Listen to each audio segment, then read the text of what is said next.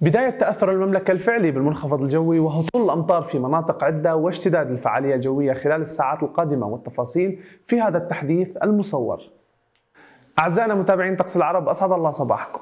تشير صور الأقمار الاصطناعية إلى بداية تأثر المملكة بالمنخفض الجوي المصنف بأنه من الدرجة الثالثة بحيث يسود طقس بارد وغائم كما نشاهد هنا من خرائط الأقمار الاصطناعية الواردة لدينا مع هطول الأمطار في أجزاء عدة من المملكة بما في ذلك أحياء من العاصمة عمان وتكون هذه الأمطار غزيرة أحيانا ومترافقة بحدوث العواصف الرعدية وتساقط زخات من البرد.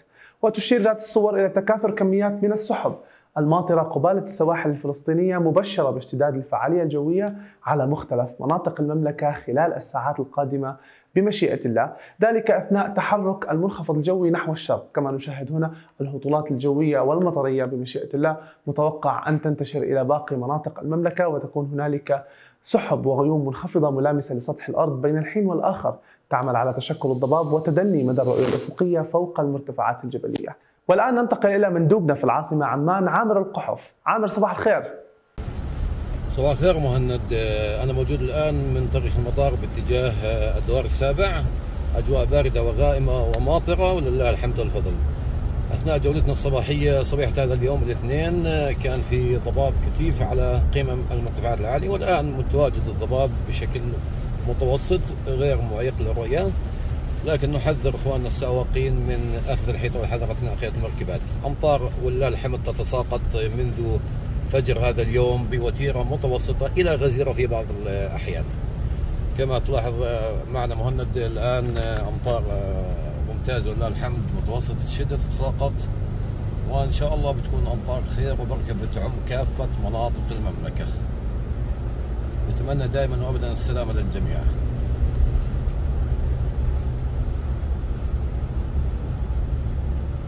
شكرا عامر. والآن ننتقل إلى مندوبنا في الطفيلة محمد السبايلة محمد صباح الخير.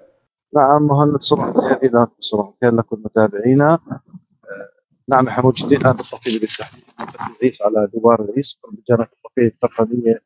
طبعا أجواء اليوم أجواء باردة أجواء غائمه الضباب حاضر بقوه زي ما إحنا شايفين الآن بالأجواء. طبعا يميز هذا اليوم رياح نشطه منذ الساعات الصباح الأولى. شهدت المحافظة منذ ساعات صباح الفجر هذا اليوم أمطار بين متوسطه إلى غزيرة. حاليا لا أمطار آه، تذكر لكن الجو بارد درجة حرارة خمسة تقريبا.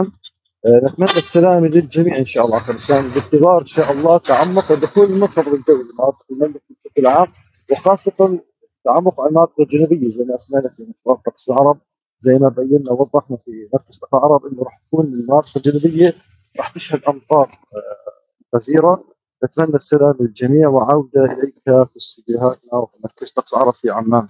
شكرا محمد. نتمنى السلامة للجميع. في حال أردتم المزيد من المعلومات يمكنكم زيارة موقع وتطبيق طقس العرب. دمتم في أمان الله. النشرة الجوية. تأتيكم بالاشتراك مع حلويات الحاج محمود حبيبة وأولاده. المناصير للزيوت والمحروقات. قهوة الغزالين قهوة سريعة التحضير. شركة بسطامي وصاحب وكلاء نيسان وإنفينيتي في الأردن. Leaders Center. يونيغارد للعزل المائي اعزل صح. شاي الغزلين جيل بعد جيل نفس الطعم الأصيل. المهنية للاستثمارات العقارية والسعودي وشركاه للتطوير العقاري.